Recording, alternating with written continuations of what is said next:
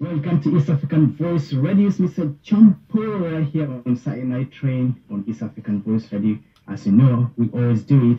Like I said before, we got tonight in the studio one and finest, you know, Japan Nollywood crew right here for the interview.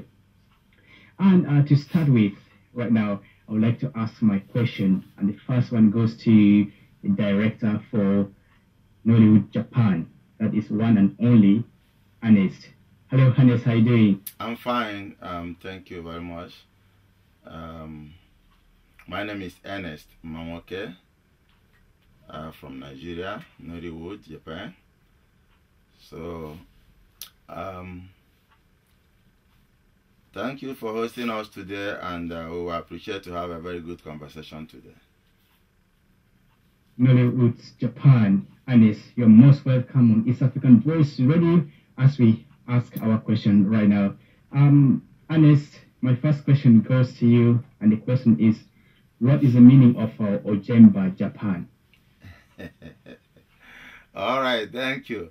Um, Ojemba Japan is a name that you know we created in Nollywood. So the directors in Nollywood gave me that name because uh, when I did a movie called uh, uh, Paul and Silas, so I was named Ojemba in that movie. And I asked the director, actually the real meaning of Ojemba is a traveler, and um, Ojemba Japan. I've been to so many countries in the world, but I choose Japan as the where you know I make Hollywood, uh, Nollywood to exist. So that's why uh, we get the name Ojemba Japan. That's absolutely brilliant. So now people know what Ojemba means, you know. And um, can I ask you another question? That is, um, Anis. Yep. When was Nollywood Japan established? Ojemba Japan or Nollywood Japan? Nollywood Japan. Yeah, we started making. You know, Japan is very uh, difficult in sense of breaking into the uh, movie industry here. I'm an actor here. I have been acting so many movies and uh, TV TV shows in Japan, and so and also some Hollywood movies. I also did some French movie uh, with a very famous director called Gaspar, uh. The title of the film is uh, Enter the Void.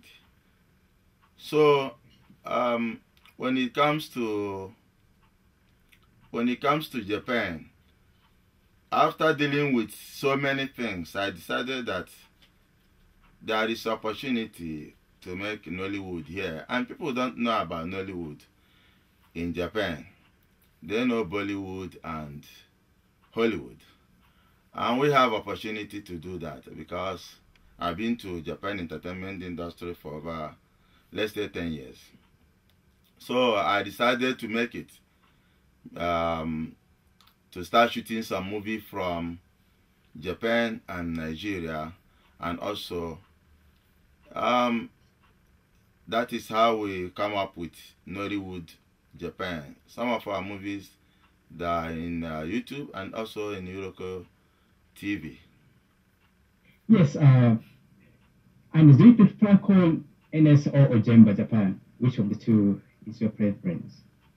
I or uh, anyone that comes in first is fine. If you call me Ojemba Japan, okay. okay, I will be calling you Ojemba Japan. right. Uh, also Ernest as well at the same Yeah. time, who is a director. Exactly. Yeah, Ernest, Ernest, um, my question goes to because you just mentioned that um, there's Nollywood Japan and it's also Nollywood Nigeria. What is the difference between Nollywood Japan and Nollywood Nigeria? Are they the same or similar uh, um, movie crew, or is totally different? Yeah, you know, it's the same because we have Nollywood uh, in US, we have Nollywood London, even uh, Nollywood Broadcasting Channel is all over the world. In Nollywood is one. I'm a member of AGN. So, um, in Nollywood Japan, is a kind of a body part of Nollywood, uh, Nigeria. So we do things. All the movie we do here, we end it up in Nollywood, Nigeria, and we market it Yes. there. That's absolutely brilliant. It's absolutely brilliant.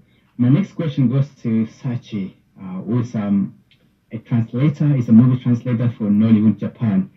Uh, Sachi, how are you? I'm doing great. Thank you so much for Alright. giving us a great opportunity.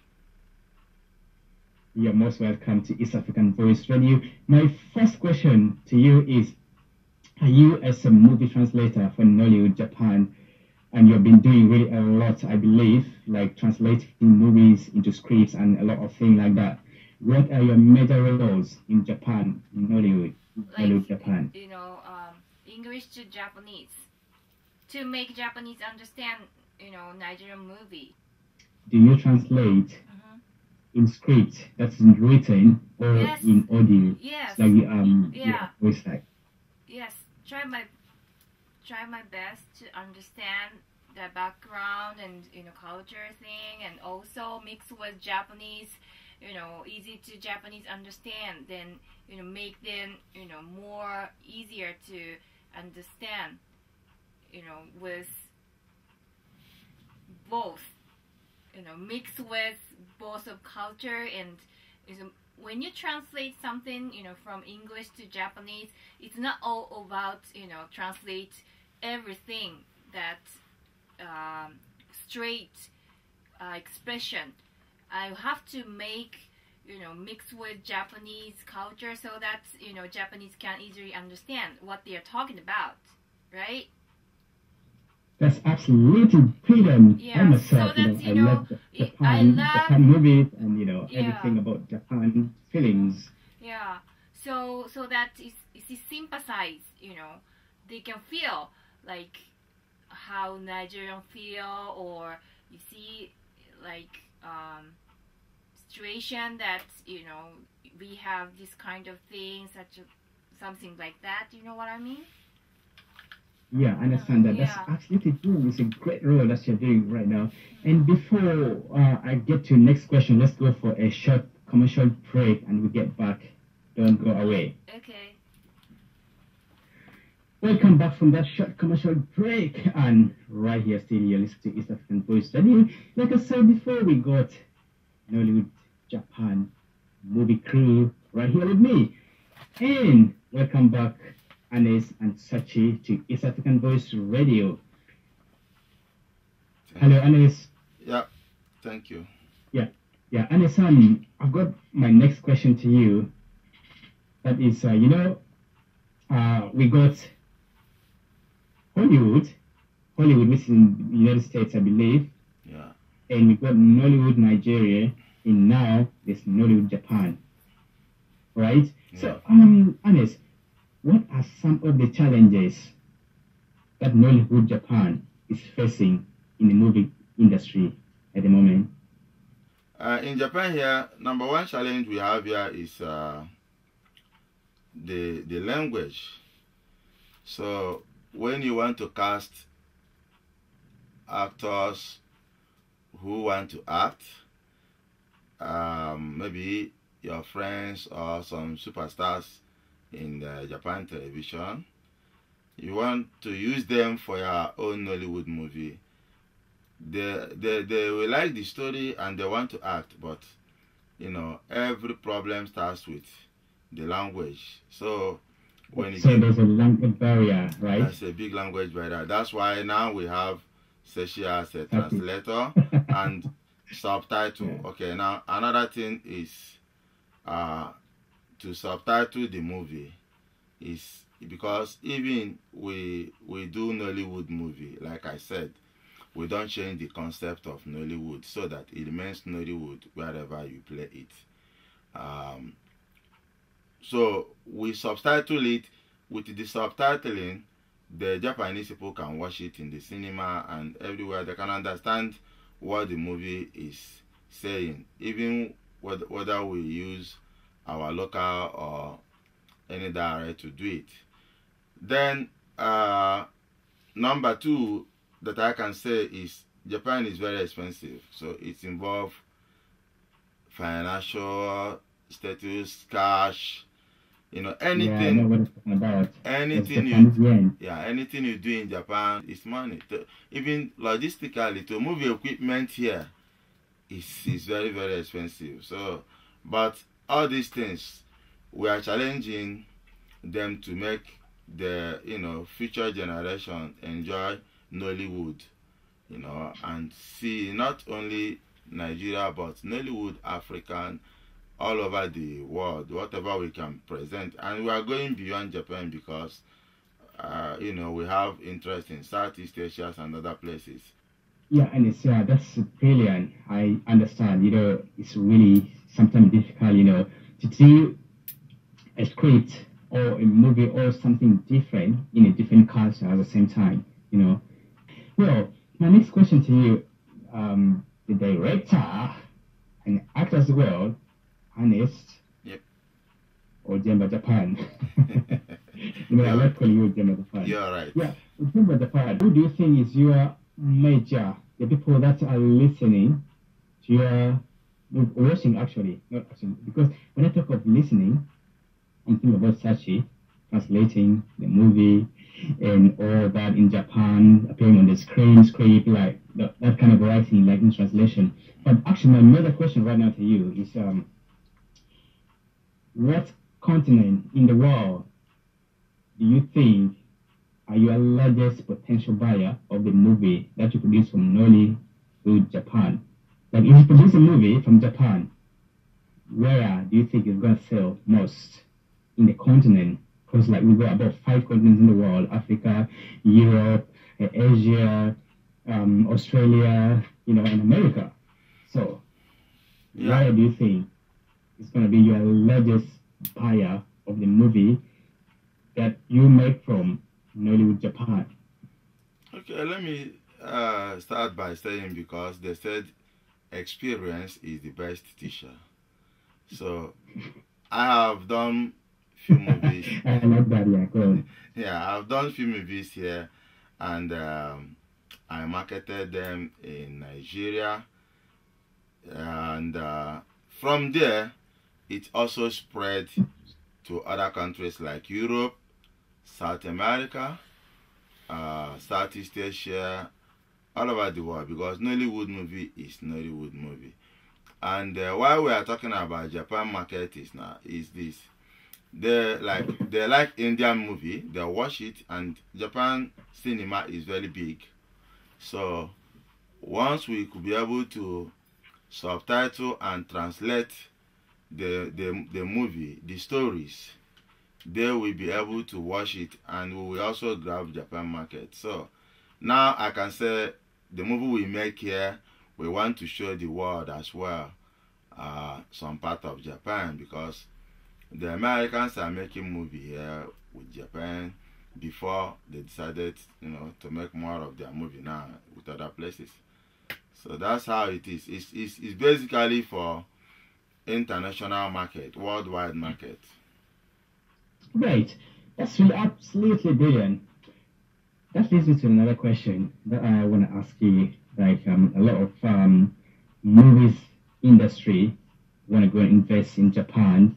You talk of America, you talk of Nollywood, in probably some other you know industry that probably you don't know yet, but say they want to invest in Japan.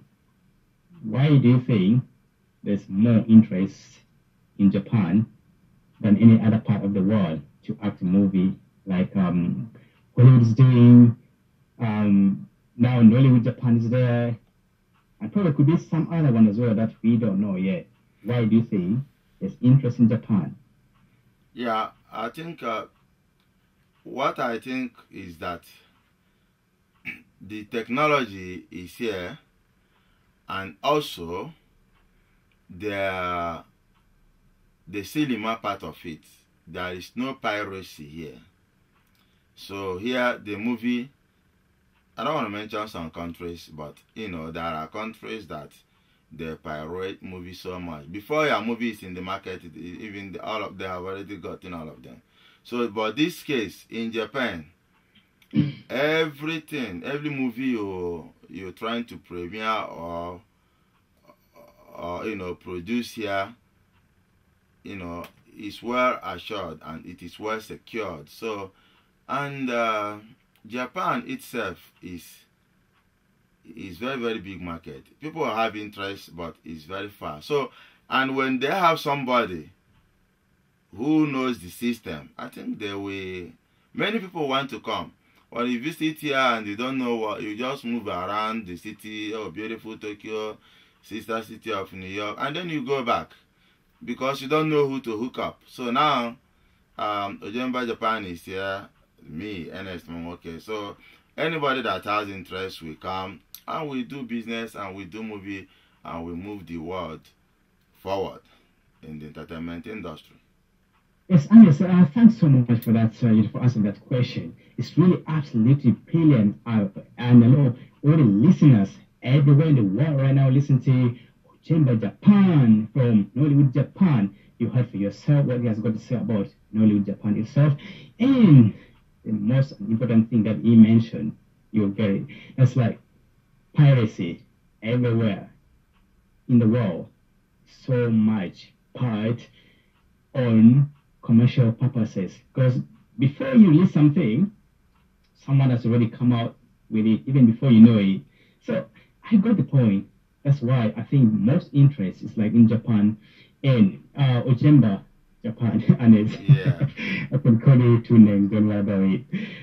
Do you think Japanese or Japan government has got strict law on piracy than the rest of the world?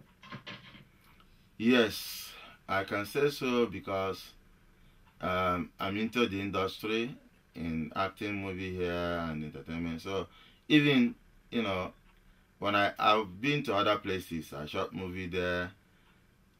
Here they have very very strict rules. Even the picture you can't take picture when you're in the studio, just to protect the program they want to air.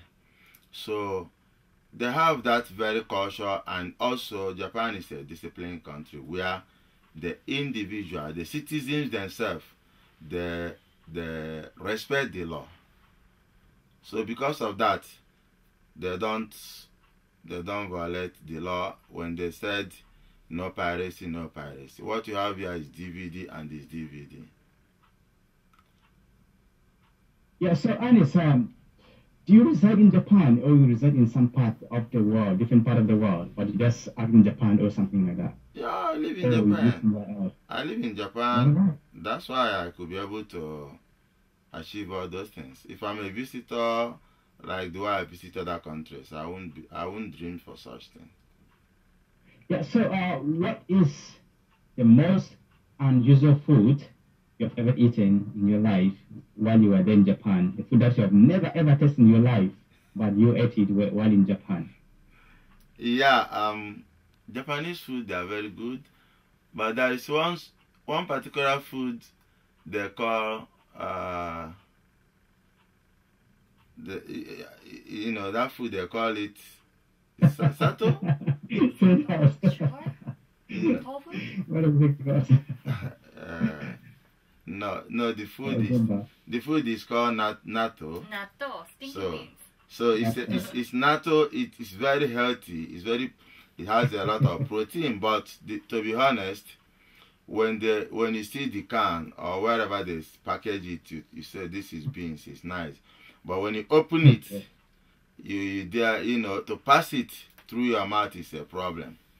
So so the first time I couldn't you know be able to eat this food. But as time goes on, I started eating it with, in my own system that the Japanese were laughing at me because I have to mix it with corn Was that the time you started, you calling? Yeah, I mix it with corn soup to take, and they were saying, "What are you doing?" I said, "That's how I want it." Then at a time, do you believe me? Now I can even eat it raw without mixing anything.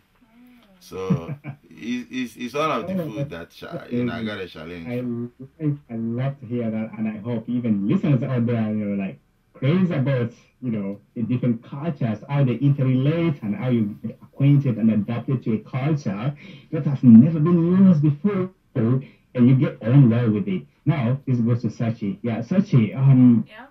my question to you is, you know, you've been doing great in translation of Japanese movie. I know how Japan's like because obviously it's your cradle motherland, and you've been doing all that, you know, like translation of a lot of movies into Japanese. Uh-huh. How do you feel? How do you feel about that? And first of all, Mhm. actually, what inspires you?